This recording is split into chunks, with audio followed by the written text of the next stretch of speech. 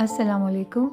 In this lesson, we will do the comprehension of Chapter 14 Biodiversity in Pakistan, Class 9.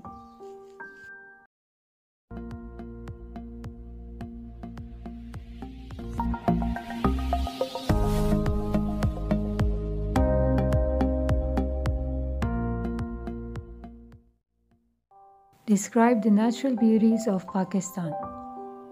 Pakistan is a country which is blessed with natural beauty.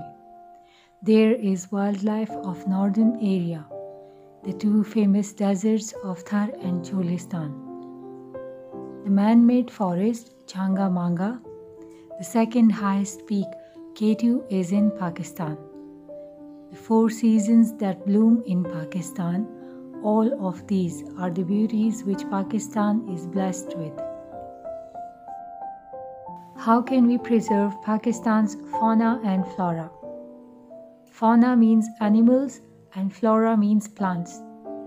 Pakistan has a variety of flora and fauna in its forests, but unfortunately, several species of animals and plants have a threat to their existence.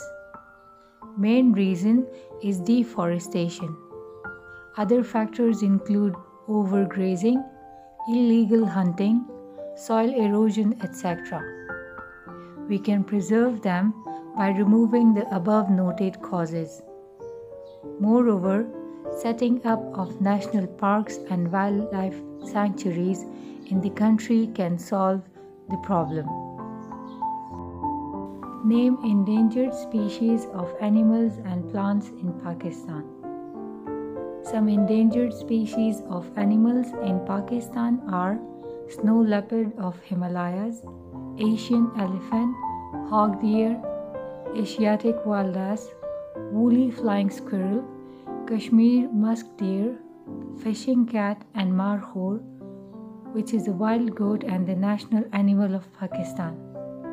Moreover, the red-headed vulture, Egyptian vulture and dolphin of Indus River are also facing threat to their existence the plants which are near to vanish.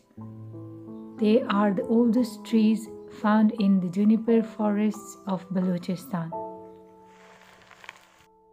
Search the internet and find about the endangered peacocks. Green peafowl, Indian peafowl, Congo peafowl, green peafowl are the only endangered peafowl species in the world. These species of peacocks are affecting due to thorough hunting and loss of habitat. How can we contribute as individuals to save nature? As individuals, we can contribute a lot to save nature by taking certain steps. We must not cut trees for domestic use. We should avoid illegal hunting of animals especially the endangered species of the animals, birds, and marine life. We should discourage overgrazing of animals in the forest, and we must not pollute the environment, especially rivers and oceans.